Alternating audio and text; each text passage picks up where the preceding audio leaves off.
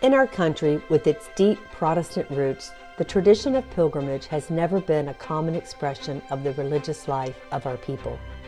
Catholics often go on pilgrimage abroad and visit foreign sites to show their honor to Christ and His Mother and the saints. But what if we don't need to go to Europe to encounter a sacred place of worship and pilgrimage? Why pilgrimage abroad when we have Our Lady here at home? In the heart of the Midwest lies a historically significant and undiscovered treasure of Catholic sites.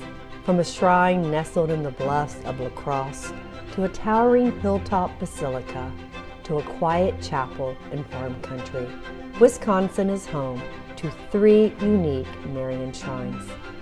This pilgrimage will take us on a spiritual journey through Wisconsin from the National Shrine of St. Philomena, nestled along the majestic Wisconsin Dells, to the Shrine of Our Lady of Guadalupe in La Crosse, to the Basilica of Holy Hill, perched on the highest point in southwest Wisconsin. We will reach the final destination of our pilgrimage on September 8th, the birthday of Our Lady, to pray at the first and only church approved apparition site in the United States, the Shrine of Our Lady of Good Help, situated in peaceful Wisconsin farm country.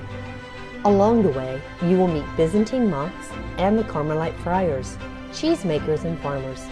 You will also meet the priest who has started leading pilgrims on foot to the Marian shrines along the Wisconsin Way.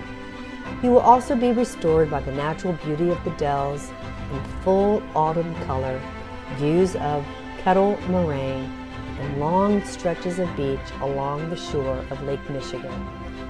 Join us on a journey to Christ through Mary in Wisconsin and rediscover the Catholic tradition of pilgrimage in the United States.